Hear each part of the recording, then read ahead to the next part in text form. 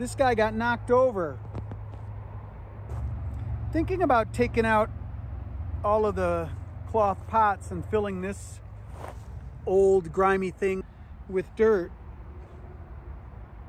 I don't know yet. Insect netting. This one still filling with dirt.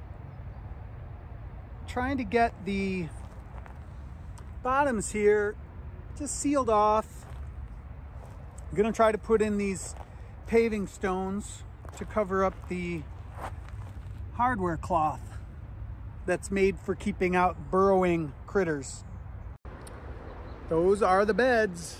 We got stuff growing and the insect netting, it's in place. I saw rabbit poop on here the other day.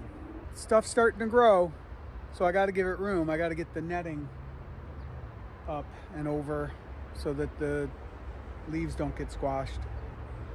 But it's a pretty nice day here, 6.30 in the morning. They were nice enough to have the gates open before 7 a.m., which is what the hours are. Yeah, it's Sepulveda Garden Center, baby.